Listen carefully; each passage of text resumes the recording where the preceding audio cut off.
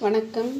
எட்டாம் வகுப்பு இயல் ஐந்து இலக்கணம் தொகைநிலை தொகாநிலை தொடர்கள் பற்றி இப்பகுதியில் பார்க்க போகிறோம் போன பகுதியில் வேற்றுமை அப்படின்னா என்னன்னு பார்க்குறோம். இந்த பகுதியிலையும் வேற்றுமை தொகை அப்படின்னா என்னன்னு பார்க்க போகிறோம் இப்போ தொகை அப்படின்னா என்னென்னா மொழி என்பது ஒரு கருத்தை பல்வேறு வகையில் சொல்ல சொல்லும் பண்புகளை கொண்டது. ஒரு மொழி அப்படின்னு சொல்கிறது வந்து தன்னுடைய கருத்துக்களை சொல்கிறதுக்கு பல்வேறு பண்புகள் இருக்குதுன்னு சொல்லியிருக்காங்க. இப்போ தொகை அப்படின்னா என்ன? தொகை என்பது தொகுத்து வருதல் அல்லது மறைந்து வரும். அடுத்து தமிழ் இலக்கணத்திற்கு முதன்மையான முதன்மையாக கருதினால் அதன் சிறப்பினை நாம் உணர முடியும் என்று தொல்காப்பியர் தொகை இலக்கணம் பற்றி கூறியுள்ளார். அடுத்து சொல்லை தனிச்சொல் என்றும் தொடர் சொல் என்றும் பகுத்து கொள்வது தமிழர் மரபு. தொடர் சொல்லின் தொகைநிலை தொடர் தொகாநிலை தொடர் என கொல்லப்படும். மொழி பாங்குகள் உள்ளன. தொல்காப்பியம் தொகைநிலை தொடரை தொகை மொழி என்று குறிப்பிடுகிறது. இப்போ பாடப்பகுதியிலுள்ள செய்தியை பார்ப்போம். ஓர் எழுத்து தனித்து நின்று பல எழுத்துக்கள் சேர்ந்து நின்று பொருள் தருவது சொல் என்பதை அறிந்தோம். சொற்கள் பல தொடர்ந்து நின்று பொருள் தருவது சொற்றொடர் அல்லது தொடர். என்பதை அறியும். இப்போ ஓர் எழுத்து தனித்து நின்று பல எழுத்துக்கள் சேர்ந்திருந்து அது வந்து நம்ம என்ன சொல்கிறோம் சொல்லுன்னு சொல்கிறோம் இதுக்கு பதம் மொழி கிளவி அப்படின்ற வேறு பெயர்கள்லாம் இருக்குது ஒரு சொற்றொடர் அல்லது வாக்கியம் அல்லது தொடர் அப்படின்னு சொல்கிறோம் அடுத்து பால் பருகினான் வெண்முத்து இங்கே பாலை பருகினான் வெண்மை முத்து அப்படின்னு பிரித்து சொல்லுவோம். இந்த ரெண்டு தொடர்களில் பாலை பருகினான் அப்படின்றப்ப வெண்மை முத்து என்னும் பொருட்களை தருகிறது. முதல் தொடரில் ஐ என்ற இரண்டாம் வேற்றுமை உருவும் அடுத்த தொடரில் மை என்பது பண்புத்தொகை விகுதியும் உருவும் மறைந்து நின்று பொருள் உணர்த்துகிறது. அப்போ பாலை பருகினா நாங்கள் இரண்டாம் வேற்றுமை உருவம். இங்கே வெண்மை முத்து அப்படின்றப்போ மண் மை என்பது பண்புத்தொகை. அதனுடைய விகுதி ஆன அப்படின்ற உருவு என்ன செஞ்சிருக்கு? மறைஞ்சு வந்திருக்கு. இப்போ இரு சொற்களுக்கு இடையில் வேற்றுமை உருபுகளோ வினை பண்பு முதலியவை தொக்கியும் மறைந்தும் வருவது தொகாநிலை தொடர் அப்படின்னு சொல்லியிருக்கோம். தொக்கி மறைந்து வருவது தொகாநிலை தொடர் அப்படின்னு சொல்லியிருக்கோம். இந்த தொகாநிலை தொடர் எத்தனை வகைப்படும் அப்படின்னு சொன்னீங்கன்னா ஆறு வகைப்படும்னு சொல்கிறாங்க அதில் வேற்றுமை தொகை வினைத்தொகை பண்புத்தொகை ஓமத்தொகை உண்மைத்தொகை அன்மொழி தொகை என ஆறு வகைப்படும். அப்போ தொகா தொகைநிலை தொடர் ஆறு வகைப்படும். இப்போ தொகைநிலை தொடர் என்றால் என்ன அப்படின்னு சொன்னால் இரு சொற்களுக்கு இடையில் வேற்றுமை உருபு ஐயாள்கு இன்னது கண் அதுவும் அதனுடைய வினை செயல் அதனுடைய பண்பு இந்த உருபுகள்லாம் என்ன செய்யுமா? மறைந்து வரும் அல்லது தொக்கி வரும். அதுக்கு பேர் தான் தொகை நிலைத்தொடர் இது ஆறு வகைப்படும் அப்படின்னு சொல்லியிருக்காங்க. இப்போ இந்த ஒவ்வொன்றையும் நம்ம தெளிவாக விளக்கி பார்க்கலாம். இப்போ வேற்றுமை தொகை. இப்போ வேற்றுமைனா ஃபஸ்ட்டு என்னன்னு பார்ப்போம். வேற்றுமை அப்படின்றது பொருளை வேறுபடுத்துவது அல்லது பெயரை வேறுபடுத்துவது வேற்றுமை அப்படின்னு சொல்லலாம். அடுத்து இதை எப்படி சொல்லலாம்னா இரு சொற்களுக்கு இடையில் வேற்றுமை உருவு மறைந்து வந்து பொருள் தந்தால் அது வேற்றுமை தொகை அப்படின்னு சொல்கிறாங்க ரெண்டு சொற்களுக்கு இடையில் வேற்றுமை உருவு மறைஞ்சு வந்து பொருள் தரும். அதுக்கு நம்ம இங்கே நிறைய எடுத்துக்காட்டை நம்ம பார்க்கலாம். இப்போ திருக்குறள் படித்தால் அப்படின்னு வராதாங்க. ஏற்கனவே என்ன செஞ்சுருப்பாங்க? திருக்குறளை படித்தால் அப்படின்ற தொடர் தான் இருந்திருக்கும். அப்படி விரித்து நம்ம பொருள் கொள்ளும்போது இங்கே வந்து ஐ அப்படின்ற இரண்டாம் வேற்றுமை உருவு என்ன செஞ்சுருக்கு? மறைந்து வந்திருக்கு. அதனால் இது வேற்றுமை தொகை. இப்போ வேற்றுமை தொகை எட்டு வகைப்படும் அதெல்லாம் நம்ம போன பாடப்பகுதியிலே தெளிவாக படிச்சிருக்கோம். முதல் வேற்றுமையிலேருந்து எட்டாம் வேற்றுமை வரைக்கும் முதல் வேற்றுமைக்கும் எட்டாம் வேற்றுமைக்கும் உருவு கிடையாது. ஐயாள்கு இன்னது கண். இப்போ இங்கே வந்து ரெண்டாம் வேற்றுமை உருபு தான் நம்ம பார்க்க போகிறோம் இப்போது இப்போ திருவாசகம் படித்தான். இது இரண்டாம் வேற்றுமை உருவு எப்படி? திருவாசகத்தை படித்தான். இப்போ இங்கே ஐ அப்படின்ற இரண்டாம் வேற்றுமை தொகை என்ன செஞ்சுருக்கு? மறைந்து வந்திருக்கு. இப்போ தலை வணங்கு தலையால் வணங்கு. அப்போ இது மூன்றாம் வேற்றுமை உருவு. அடுத்து சிதம்பரம் சென்றான். அப்போ என்னது? சிதம்பரத்துக்கு சென்றான். அப்போ கு அப்படின்றது நான்காம் வேற்றுமை தொகை. மலைவீழ் அருவி.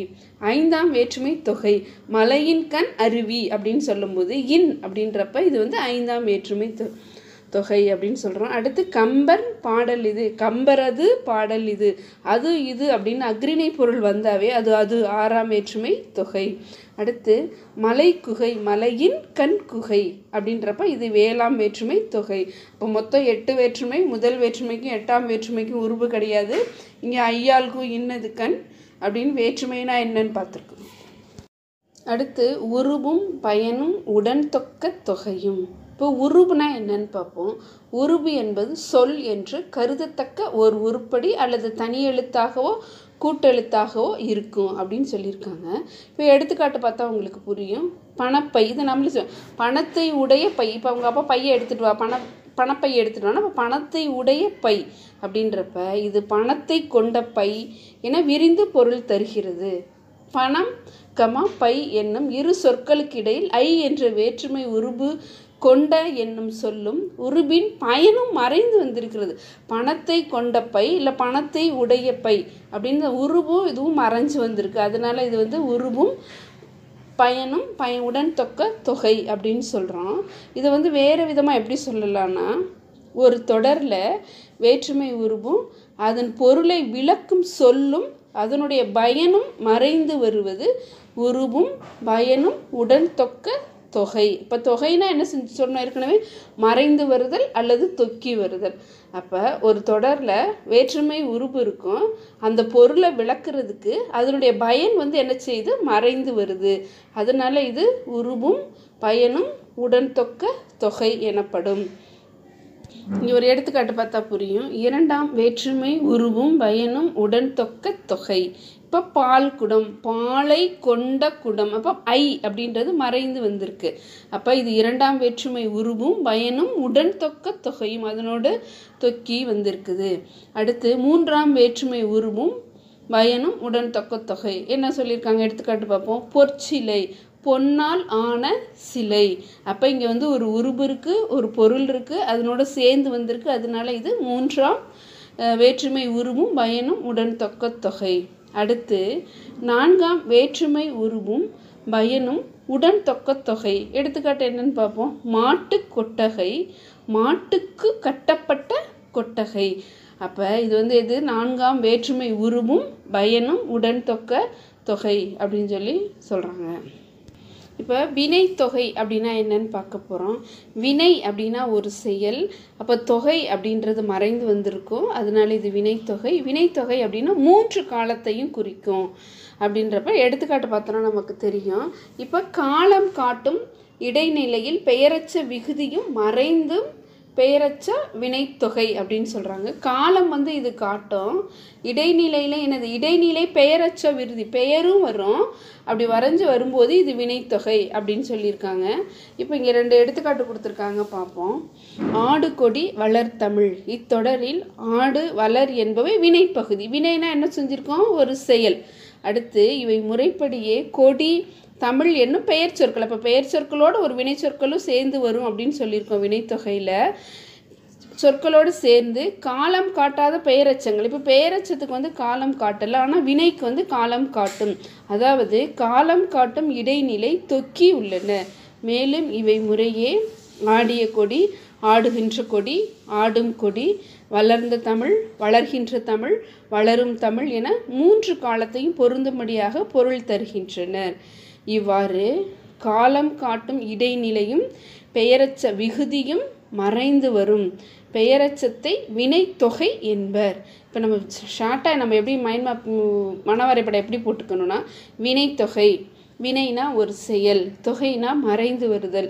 இது வந்து மூன்று காலத்துலேயும் வரும்.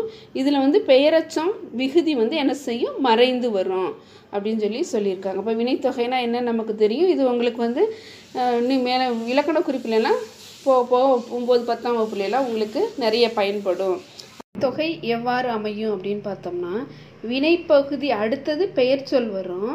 அந்த வாக்கியத்தில் வினை தொகையும் வரும். அப்போ இது மூன்று காலத்துக்கும் பொருந்தும்படி பிரிந்தும் என்ன செய்யும்? பொருள் தரும். இப்போ இன்னொரு எடுத்துக்காட்டு பார்ப்போமே. வீசு தென்றல் வீசிய தென்றல் வீசுகின்ற தென்றல் வீசும் தென்றல். அப்போ காலம் காட்டும் இடைநிலை பெயரச்சங்கள் இங்கே தொக்கி இருக்கு. அடுத்து வந்து பண்புத்தொகை தொகை அப்படின்னா என்னன்னு பார்க்க போகிறோம் இப்போ பண்புத்தொகை தொகை அப்படின்னா என்னென்னா நிறம் வடிவம் சுவை அளவு முதலானவற்றை உணர்த்தி பெயர் சொல்லுக்கு இடையில் மை என்னும் பண்பு விகுதி மறைந்து வரும் தொகை பண்பு தொகை. அடுத்து இது பாரு இன்மொழி இனிமையான மொழி. இப்போ செங்காந்தல் செம்மையாகிய காந்தல் அப்படின்னு சொல்கிறோம் ஆனால் இங்கே பாடப்பகுதியில் என்ன கொடுத்துருக்காங்கன்னு பார்ப்போம். வெண்ணிலவு கருங்குவலை இந்த தொடர்களில் வெண்மையான விண்ணிலவு நிலவு அப்படின்னு சொல்லுவோம். அடுத்து கருங்குவளை கருமையான குவளை அப்படின்னு பொருள் கொள்ளலாம். இப்போ வெண்மை கருமை இது வந்து என்ன சொல்லுது? அதனுடைய பண்பு ஏற்கனவே நம்ம சொல் என்ன சொல்லியிருக்கோம்? நிறம் வடிவம் சுவை இதிலெல்லாம் வரும் அப்படின்னு சொல்லியிருக்கோம். அப்போ பண்பு நிலவு கு குவளை என்னும் பெயர் சொற்களை தழுவி நிற்கின்றன. ஆனால் ஆன ஆகிய என்ற பண்புருபு மறைந்து வெண்மையான நிலவு கருமையாகிய குவளை என்னும் பொருளை தருகிறது. ஷார்ட்டாக நம்ம என்ன ஞாபகம் வச்சுக்கணும்னா பண்பு உருபு ஆகிய ஆன ஆகியவை மறைந்து வரும் மை விகுதியும் மறைந்து வரும் அப்படின்னு சொல்லியிருக்கோம். இவ்வாறு பண்பு பெயருக்கும் அது தழுவி நிற்கும் பெயர் சொல்லுக்கும் இடையே ஆகிய ஆன என்ற பண்பு உருபு மறைந்து வருவது பண்பு தொகை. தொகைன்னா நம்ம என்ன சொல்லியிருக்கோம்? மறைந்து வரும் அப்படின்னு சொல்லியிருக்கோம். பண்பு தொகைன்னா என்ன வரும்? மை விகுதி வரும். ஆகிய ஆன அப்படின்ற உருபு வந்து என்ன செய்யும்? மறைந்து வரும். அடுத்து இரு பெயரொட்டு பண்புத்தொகை அப்படின்னா என்னன்னு பார்ப்போம். சிறப்பு பெயரும் இருக்கும் பொது பெயரும் இருக்குது இதில். சிறப்பு பெயர் முன்னும் பொது பெயர் பின்னும் இடையில் ஆகிய என்று என்னும் ப பண்பு உருபு தொக்கி வருவது இரு பெயரொட்டு பண்பு தொகை. இப்போ எடுத்துக்காட்டு மார்கழி திங்கள் சாறை பாம்பு அப்படின்னு நம்ம பார்ப்போம். ஒரு சிறப்பு பெயர் இருக்கும் ஒரு பொது பெயரும் இருக்கும். அதுக்கு இடையில ஆகிய அப்படின்ற பண்பு வந்து என்ன செய்யும்? மறைந்து வரும். இப்போ மார்கழி திங்கள் மதத்தினுடைய சிறப்பு என்னது? மார்கழி திங்கள் அப்படின்னு சொல்கிறோம் அடுத்து பாம்புலே நிறைய வகை இருக்கும். சாரை பாம்பு. அப்போ ஒரு பொது பெயரும் இருக்குது ஒரு சிறப்பு பெயரும் இருக்குது இப்போ பாடப்பகுதியில் நமக்கு என்ன எடுத்துக்காட்டு கொடுத்துருக்காங்கன்னு பார்ப்போம். பனை மரம். இத்தொடரில் பனையாகிய மரம் என விரியும். மரம் என்பது பொது பெயர். பனை மரங்களில் ஒன்றை குறிக்கும் சிறப்பு பெயர். இவ்வாறு சிறப்பு பெயர் முன்னாடியும் பொதுப்பெயர் பின்னாடியும் நிற்க இடையில் ஆகிய அப்படின்ற பண்பு உருபு மறைந்து வருவதாக இரு பெயரொட்டு பண்புத்தொகை அப்போ ஒரு சிறப்பு பெயர் இருக்கும் ஒரு பொது பெயர் இருக்கும். சிறப்பு பெயர் வந்து முன்னாடி இருக்கும் பொது பெயர் வந்து பின்னாடி இருக்கும் அப்படின்னு சொல்லி சொல்லியிருக்காங்க.